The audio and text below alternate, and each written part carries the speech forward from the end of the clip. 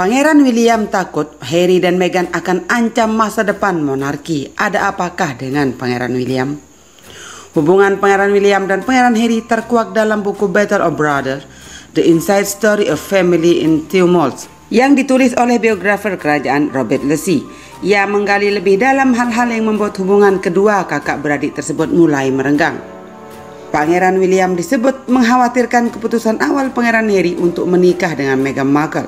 Menurutnya kala itu adiknya terlalu cepat mengambil keputusan. Konflik yang paling fundamental dari dua orang pria yang saling memahami satu sama lain selama hidupnya dan tak pernah ragu mengungkapkan apa yang mereka pikirkan dan rasakan, tulis Lasi. William khawatir adiknya bergerak terlalu cepat dalam hubungan asmaranya dan dia tak segan-segan mengatakannya saat Harry mulai mengungkapkan niatnya untuk segera menikah dengan Meghan. Lanjutnya, Diungkap Lesi, sumber menyebut konfrontasi besar dengan Meghan terjadi sekitar akhir 2016 hingga awal 2017. Kala itu William mengungkapkan kekhawatirannya soal Meghan. Lesi kemudian memberikan gambaran terkait perbedaan pandangan antara William dan Harry tentang pernikahan. William harus menunggu lama sebelum akhirnya meminta Kate Middleton untuk menikah dengannya. Ia lebih berhati-hati dan membuat Kate memahami posisinya sebelum akhirnya memintanya menjadi istri demi masa depan kerajaan. William sudah mengaudisi Kate untuk mengambil pekerjaan itu selama bertahun-tahun. Sehingga Harry bertanya-tanya apakah Will benar-benar memikirkan kebahagiaan Harry atau memikirkan masa depan kerajaan. Tambah lesi. Untuk William yang paling penting adalah masa depan monarki. Sementara untuk Harry, Cinta dari perempuan yang rumit dan menawan itulah yang akhir membuat hidupnya seperti lebih masuk akal, pungkasnya. Hingga kini tak ada komentar apa pun dari pihak istana terkait pernyataan yang ditulis Robert Lacey dalam bukunya. Apalagi baru-baru ini, Pangeran Harry disebut curi ide Pangeran William. Pangeran Harry dan Meghan Markle dituduh meniru ide milik Pangeran William dan menuangkannya melalui kesepakatan kerjasama dengan platform streaming Netflix. Melansir The News, Duke dan Duchess of Sussex kemungkinan akan menyalin format dokumenter Pangeran William dan mengadaptasinya dalam acara mereka yang diproduksi untuk Netflix. Tak main-main, Netflix bahkan dikabarkan rela merogoh koceh fantastis untuk menggait Meghan Markle dan Pangeran Harry yang senilai 100 juta US dollar atau 1,4 triliun. Fokus kami adalah membuat konten yang menginformasikan tetapi juga memberi harapan – sebagai orang tua baru, membuat program keluarga yang menginspirasi juga penting bagi kami, kata pasangan tersebut.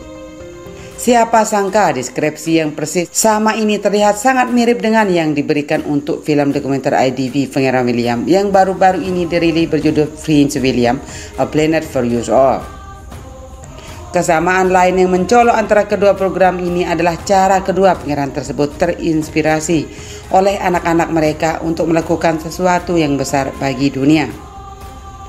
Dalam dokumenter, Pangeran William menjelaskan bagaimana Pangeran George, Putri Cheryl, dan Pangeran Louis mengubah pandangannya. Sentimen yang sama juga diagungkan dalam pernyataan Meghan dan Harry, terutama karena mereka menekankan pentingnya pemrograman keluarga. Hubungan kedua pangeran ini dikabarkan semakin rumit, apalagi hubungan mereka dikabarkan sudah merenggang sejak 2005 silam.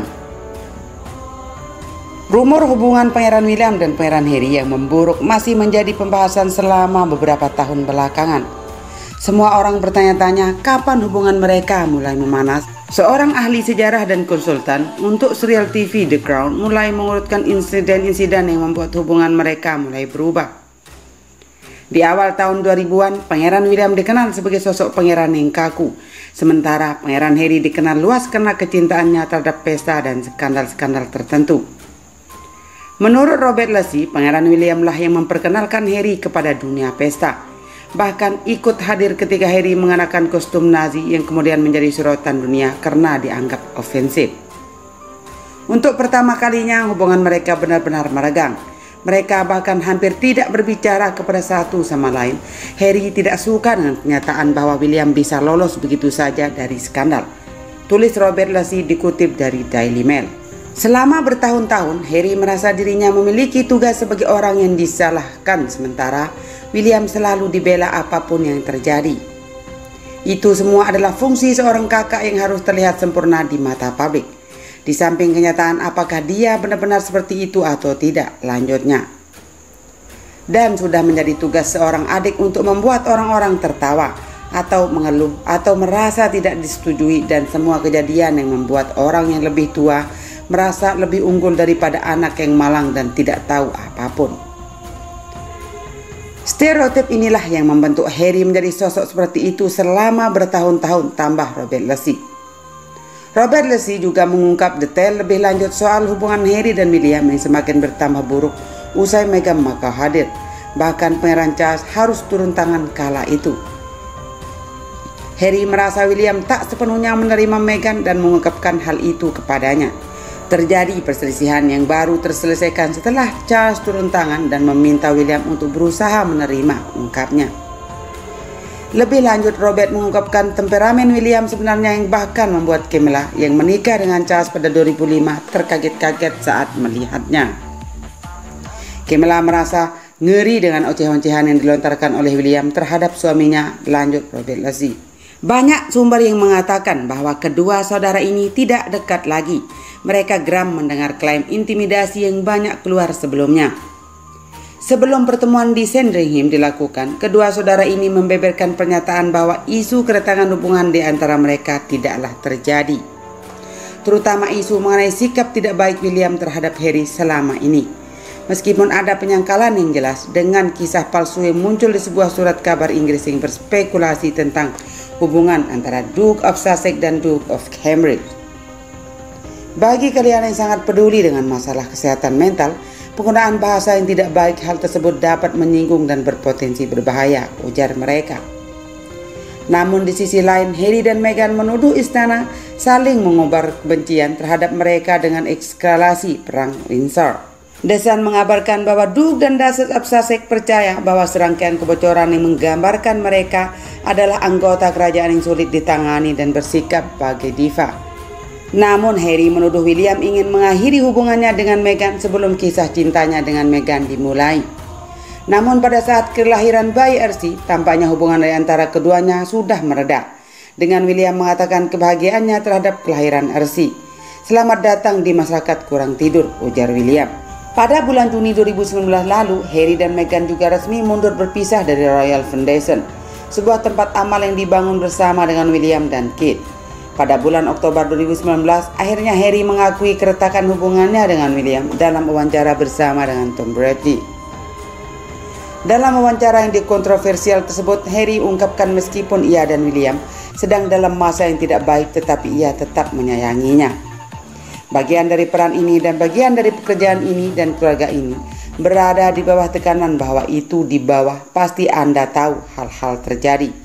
Tapi lihat kita bersaudara, kita akan selalu menjadi saudara dan kita tentu saja berada di jalur yang berbeda saat ini. Tetapi saya akan selalu ada untuknya karena saya tahu dia akan selalu ada untuk saya. Kami tidak saling bertemu sebanyak dulu karena kami sangat sibuk, tapi aku sangat mencintainya. Sebagai saudara, Anda tahu, Anda memiliki hari yang baik, Anda memiliki hari yang buruk, ujar Pangeran Harry kala itu. Tapi untuk Meghan dari staf sampai keluarga kerajaan lainnya disebut tidak menyukai dirinya. Ada beberapa informasi terbaru mengenai apa sebenarnya pendapat para anggota staf Buckingham Palace mengenai Meghan Markle.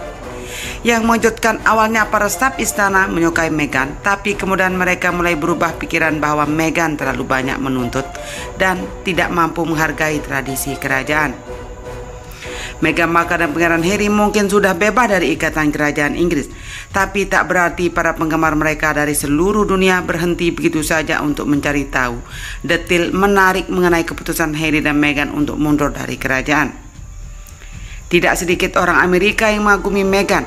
Ia berhasil mengubah statusnya dari seorang selebriti menjadi seorang putri. Sementara orang-orang yang bekerja di istana Buckingham tampaknya tidak terlalu senang dengan masa lalu Meghan.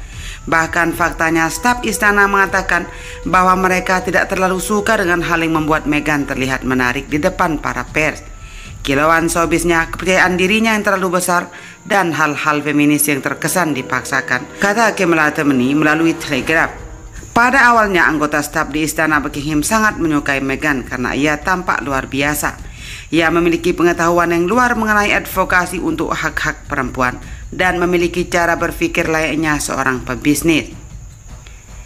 Tetapi temeni yang telah meliput keluarga kerajaan selama lebih dari satu dekade, bahkan sebelum hadirnya Meghan, mengungkapkan bahwa perasaan positif tentang Meghan tidak berlangsung lama. Temeni mengatakan bahwa anggota staf di Istana Buckingham berubah pikiran tentang Meghan karena masa lalunya sebagai selebriti. Saya merasa adanya benturan budaya dalam artian ia berasal dari dunia selebriti yang berputar dengan cepat dan penuh dengan tuntutan. Sementara dunia kerajaan itu sangat berbeda, jauh lebih lambat dan sangat hierarkis. Dan semoga kehidupan pasangan ini di Los Angeles jauh lebih baik.